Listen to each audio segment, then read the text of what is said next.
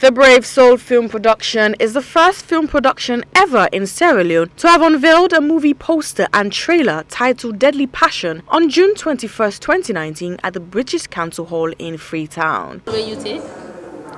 I take a sister role Sister role. To who? to Joe. To Joe. know, I'm a gangster in the movie. Gangster. I got raised you on the bush, you know. Yeah, you know, I'm a bad guy We be boss send me for there. We go rat this Joe na the na the bush na the forest.